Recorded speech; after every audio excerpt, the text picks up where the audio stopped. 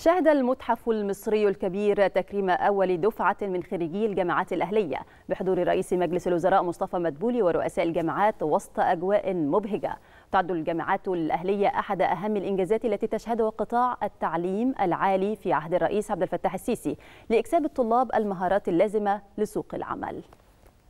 هي لحظة انتظرها هؤلاء الطلاب كثيرا. لحظة دخول أول دفعة من خريج الجامعات الأهلية لساحة الاحتفال بالمتحف المصري الكبير ليتم تكريمهم بحضور رئيس مجلس الوزراء مصطفى مدبولي ورؤساء الجامعات وسط أجواء مبهجة في هذا الحفل الأول الذي تقيمه جامعات الملك سلمان والجلالة والعلمين. بعد أن بدأت الدراسة بها عام 2021 حيث قدمت هذه الجامعات العديد من نظم الدراسة الحديثة والبرامج التعليمية المختلفة المؤهلة لسوق العمل. شعور بالسعادة لا يوصف حلم شايفينه بيتحقق قدام عينينا.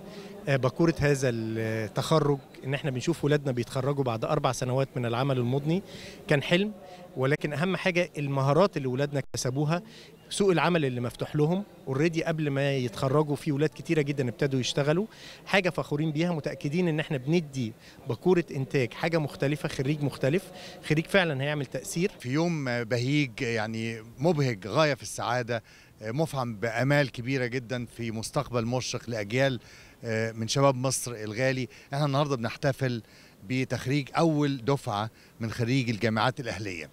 فكر الجامعات الأهلية بدأ منذ سنوات ولكن سيادة الرئيس عبد الفتاح السيسي أصر أن هذه الجامعات تبدأ في مدن جديدة ومجتمعات عمرانية جديدة. فرحة كبيرة رسمت على وجوه الطلاب وأهاليهم ليحتفلوا بعد سنوات من الدراسة داخل أعرق وأهم الجامعات التي اهتمت الدولة ببنائها خلال السنوات الأخيرة ليجني هؤلاء الطلاب ثمار اجتهادهم بعد تمتعهم بالعديد من المهارات نتيجة الأساليب الحديثة التي اتبعوها خلال دراستهم. أه بصراحة اللي بيميز جام... اللي الجلالة إن إحنا مثلا إحنا تخصص TV production فإحنا مش بس بندرس TV لا إحنا بندرس تخصصات تانية.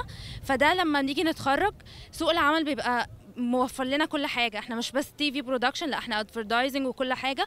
وغير كده إن إحنا بناخد certificate بكل اللي إحنا اتعلمناه من جامعة الجلالة. دراسة الذكاء الصناعي في جامعة الجلالة.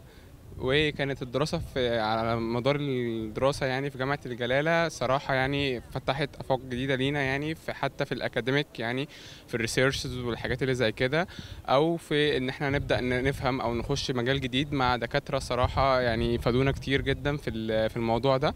أهمية الجامعات الأهلية طبعا المناهج الجديدة الحديثة اللي بتواجب بتواكب تطور العمل وسوق العمل طبعا دي من أهم الحاجات المهمة اللي خلت اللي خلتنا نتأهل اللي إحنا نشتغلوا مع باحثين من جميع أنحاء العالم من الولايات المتحدة الأمريكية. وأنا اشتغلت مع طلاب دكتوراه في جامعة لوفل لمدة ثلاث شهور. الجامعات الأهلية أحد أهم الإنجازات التي شهدها قطاع التعليم العالي في عهد الرئيس السيسي حيث تم إنشاء ما يقرب من عشرين جامعة أهلية في سبع سنوات لتساهم في استيعاب أكبر عدد من الملتحقين بالتعليم الجامعي وتقديم برامج دراسية حديثة بها أعلى معايير الجودة التعليمية تربط الخريجين بسوق العمل وتميزهم فيه. محمود جميل التلفزيون المصري.